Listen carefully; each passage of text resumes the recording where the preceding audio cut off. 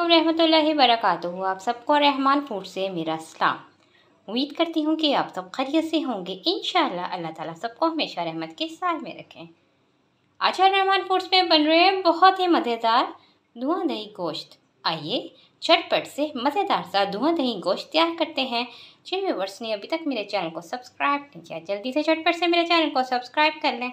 और bell icon का button ज़रूर दबाएँ ताकि मेरी हर आने वाली वीडियो आपको जल्दी से मिल जाए। आइए, मज़ेदार सा धुआँ दही गोश्त तैयार करते हैं। व्यूअर्स मज़ेदार सा धुआँ दही मटन बनाने के लिए हमें चाहिए वन के जी गोश्त। जी व्यूअर्स अब इसके अंदर हम शामिल करेंगे प्याज का पेस्ट ये दो हज़ार प्याज का पेस्ट है। ये हम इसमें शामिल करेंगे। जी व्यूअर्स अब इसके अंदर हम ऐड करेंगे one and half tablespoon अदरक लहसुन का पेस्ट जी व्यूवर्स अब इसमें हम शामिल करेंगे साबित मिर्च, पाँच से छः अदद भुना कुटा धनिया टू टेबल स्पून भुना कुटा ज़ीरा हाफ़ टी स्पून सुरख मिर्च powder one and half tablespoon मिर्च और नमक अपने टेस्ट के अकॉर्डिंग ऐड करेंगे salt one table spoon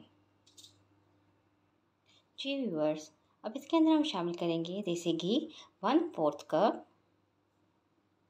viewers अब इसके अंदर हम शामिल करेंगे दो गिलास पानी। जी व्यूवर्स अब हम लिट लगाकर इसको पकने के लिए छोड़ देंगे। हमने इसको इतना पकाना है कि जो हमारा गोश्त है ना, वो अच्छे तरीके से पक जाए।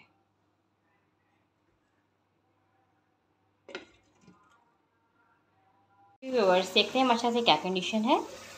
वाओ, माशाल्लाह माशाल्लाह।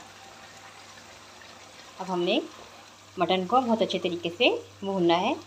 माशाल्लाह से ये बहुत अच्छे तरीके से गल गया है। ये देखें, आराम से टूट रहा है। क्योंकि तो ये बकरे का गोश्त है, ये बहुत जल्दी गल जाता है।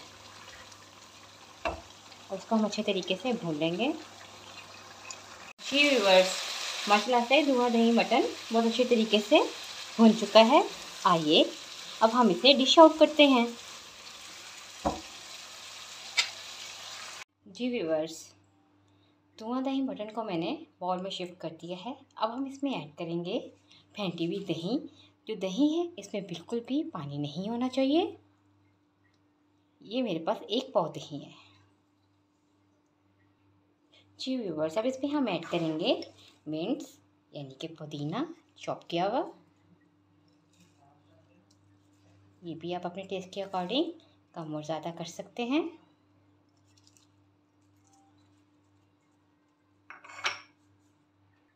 जी व्यूवर्स अब इसमें हम ऐड करेंगे रिंग्स में कट किए हुए प्याज, बिस्मिल्लाहिर्रहमानिर्रहीम।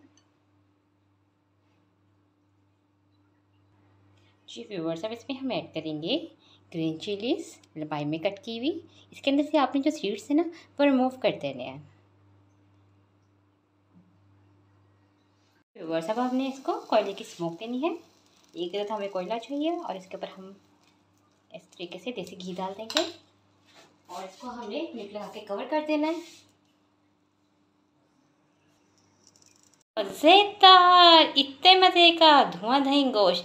तैयार हो गया है झटपट से। आप भी इसी तरीके से, इसी मेथड से अपने घर में मज़ेदार सा धुआँ दही गोश्त बनाएँ और मज़ा कीजिए। अल्लाह ताला आप सबको आफियत वाली ज़िंदगी अदा करें। दोनों जहाँ की ढेरों खुशियाँ अदा करें। अल्लाह ताला आप सब पे अपना ख़ास करम करे। मुझे भी हमेशा अपनी दुआओं में याद रखिएगा। फिर मिलूँगी बहुत ही आसान और झटपट से तैयार हो जाने वाली रेसिपी के साथ। इन जिन व्यूवर्स ने अभी तक मेरे चैनल को सब्सक्राइब नहीं किया, जल्दी से झटपट से मेरे चैनल को सब्सक्राइब कर लें और बेल आइकन का बटन ज़रूर दबाएँ ताकि मेरी हर आने वाली वीडियो आपको जल्दी से मिल जाए। इन फिर मिलूँगी, अपना बहुत ख्याल रखिएगा। अल्लाह हाफिज़।